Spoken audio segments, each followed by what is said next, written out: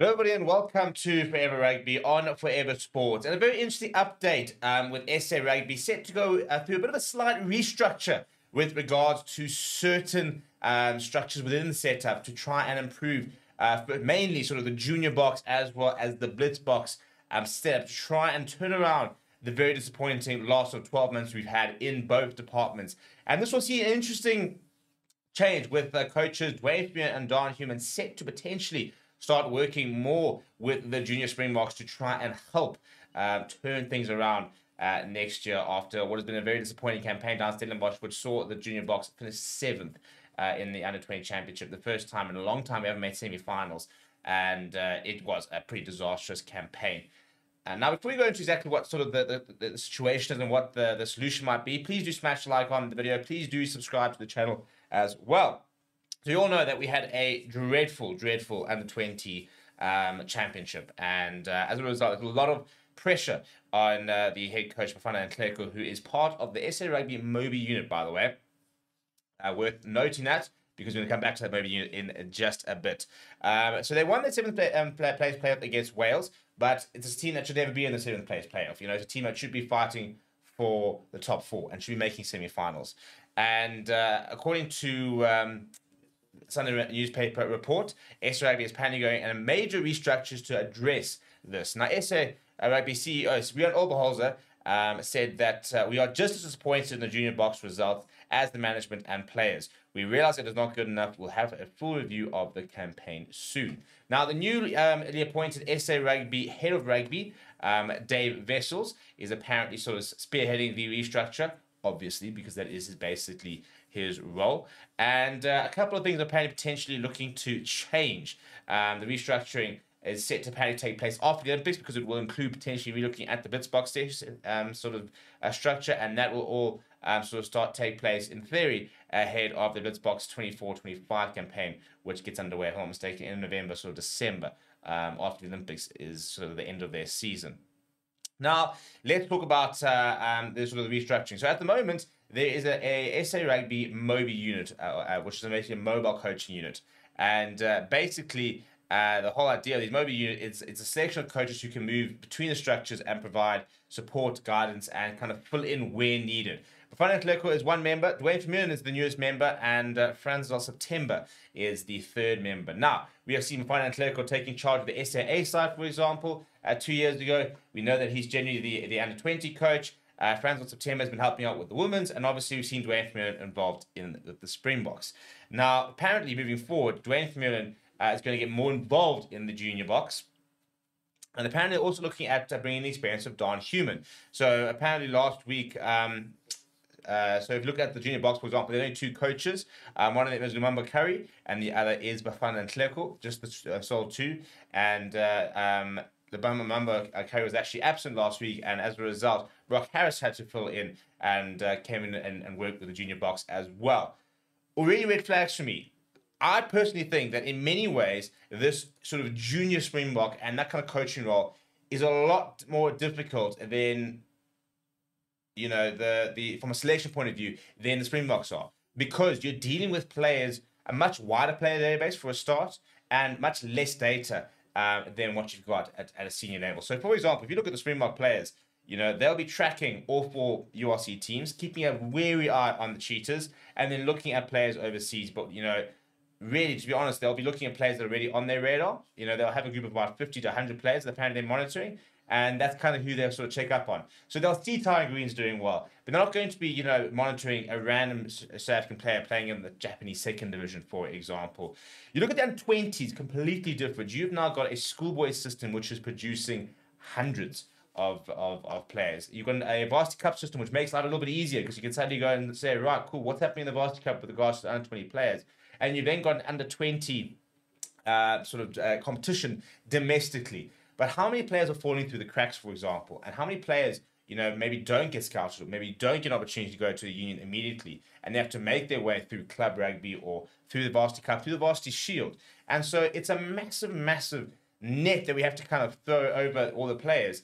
And to be honest, I think that's where we're getting things really wrong. Um, you know, I think what we've seen, especially with the coaches, is that when we've got a good uh, group of players, for example. You know, if you look at the the, the year of Sacha Feinberg-Mngomezulu when he came through, and we basically played like a mini Six Nations, and uh, we cleaned up. We, we, won. We were undefeated, and uh, it was a very good side.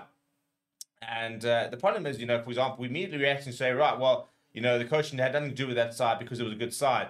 But then as soon as you play badly, then it's all on the coaches, not on the players. And I think it's a combination of both in both of those situations.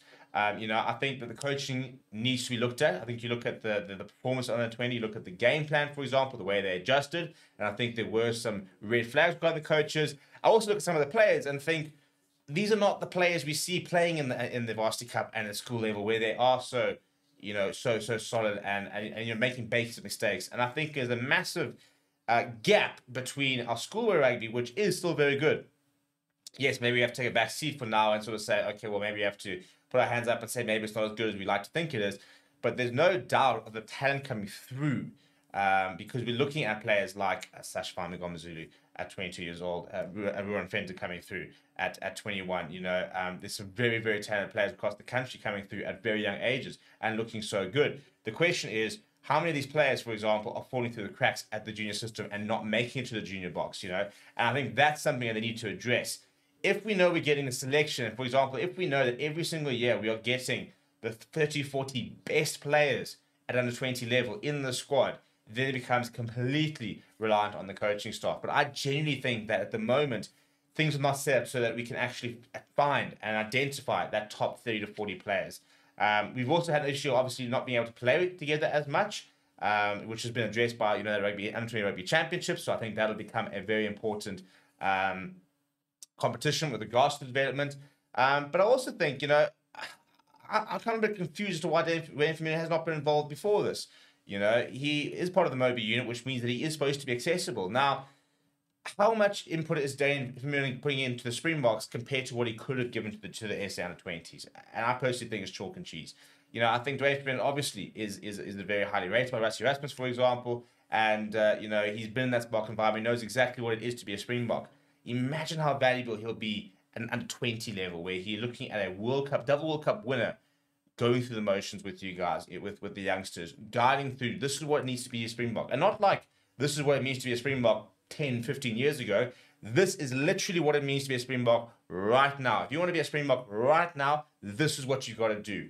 And I think that's where we've gotten it really wrong. I think Deon Davids, for example, being involved in there will help as well. You know, a bit of a scrum technician, for example, and you know, I think sorting out the set piece will be massive. But I do think that we need to relook at this MOBI unit because for me, there's far too many people who are kind of helping out here, like helping out there, and and not really, you know, as much as the expertise is supposed to be there for the taking and they have to be moved around. We're not really seeing that. We have we, we haven't really seen Dre from involved in the S under twenties at any stage. He wasn't over the, with them for the rugby championship, for example. Um, so for me, you know, it's almost become like a bit of a a a, a tick box exercise. We've got this MOBI unit, but it's not it's not being used effectively, or else maybe it's too small. Maybe you know we need to look at more permanent appointments and then look at this MOBI unit, how they then move across those systems and ensure that things are happening at the right levels, at the right different sort of coaching structures. And I'm talking junior spring Springboks, Blitzboks, uh, women's sevens, you know, um, the, the women's 15s, the Springboks. We've got all those sort of different structures. You know, we need a we need a junior uh, it's under 20 women's side as well moving forward. And, uh, you know, we need coaches and, and somebody overseeing all these structures to ensure that they are, the pipeline is in place. And I think that's something that we need to get right. At a national level, I think we've got the right coaches, for example. I do think we've got the right players. But the problem is, until we make sure our pipeline is is is is, is foolproof, not foolproof, but very solid, you know, there might become a bit of a player gap. And that's the that's what the worry when you see a performance like this SA under 20, people suddenly worry, you know, is this going to spill through the spring Springboks in a few years' time? Which I don't think is the case. You know, you looked at that side, and about to be like Hlekani, I mean, he looks like he could be like a Ruan Venter. He could be playing URC this year. He looks that talented.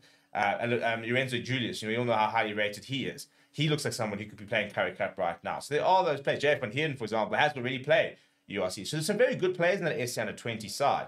But how do we take the next step? And how do we make sure that there are more of those kind of players involved in the under 20 level. So interesting to see exactly what happens. Same thing with the Blitzboks, for example. We've seen a change in coaching. Philip Snyman having to take over halfway through the season because of the poor results.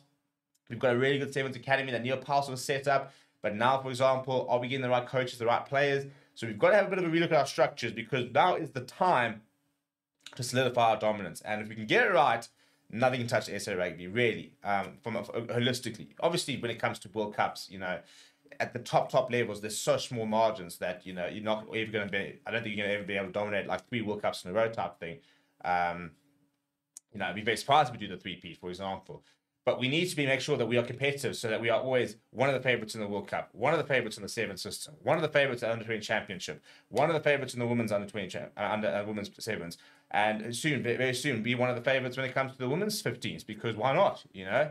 Um, so let me know if you have any suggestions, any sort of comments about that down in the comments below. Smash a like on the video, subscribe to the channel as well. Thank you very much for watching. My name is Steve. I'll chat to you soon.